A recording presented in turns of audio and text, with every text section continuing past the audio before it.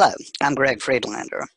I'm accelerating this video because I speak slowly and I want to cover as much information as possible without taking up much of your time. We have completely redesigned the atom. By doing so, we have a better understanding of fusion and fission. We've defined faster than light travel and identified where it exists, and we've opened up a pathway for an entirely new age of science. We're going to put this in context by defining time for the first time. At CWI, we understand what time is, and therefore we can control time.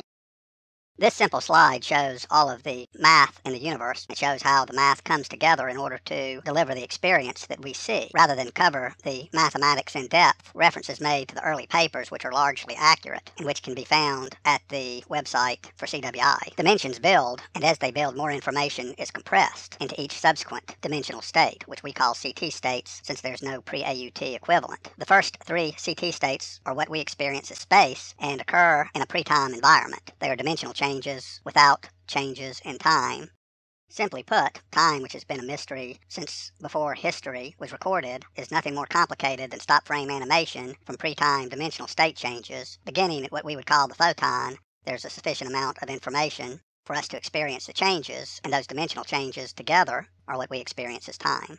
There are three dimensional states that are pre-time, and the preponderance of these pre-time elements in photons makes photons appear time-free, and the squeezing out of these elements makes black holes appear to be outside of time. But both of those effects are an illusion. The first four dimensions are represented here. This shows a few hundred solutions of f pi x graphed against x, which is quantum change. One can see the stacking of these solutions in two forms. The bottom form of stacking shows four stacks of 5,000 points representing a matrix of 25 million squares, and one can see to the left in the bottom row how a flattened globe of similar appearance can compress into a three-dimensional globe. But how do we know the AUT definition of time as stop frame animation is accurate? First, time and space are interchangeable. They have to be the same thing. Second, the math of gravity, force, energy, and dimensional compression work. We see the relevant compression in the form of the denominator of pi, the effects of spiral compression and decompression at every level of the universe, adding an unexpected degree of accuracy to Marcus Vitruvius's concept of man.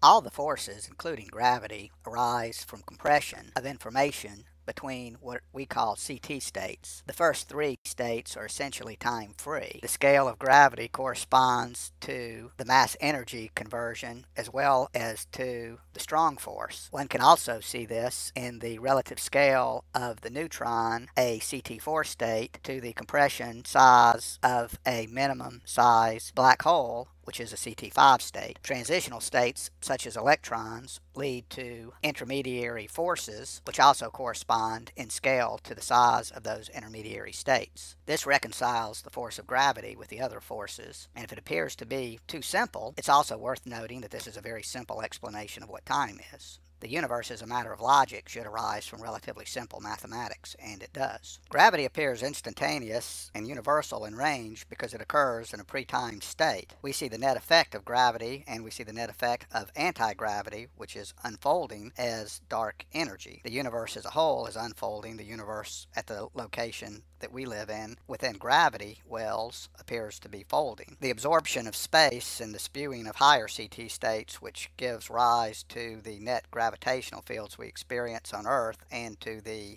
electromagnetic fields that protect us, go outside of this lecture, but can be found in other writings on this topic. The dimensional changes giving rise to time occur in a pre-time environment without dimension at the CT1 level, which allows all points in the universe to change together based on a single variable of x without reference to the effective separation caused by entanglement and compression of individual points. In summary, Change is quantum, 1, 2, 3, etc., and is unrelated to time, even though time arises because of quantum change. Waves and Schrodinger type observations arise from pre-time changes viewed from the standpoint of time.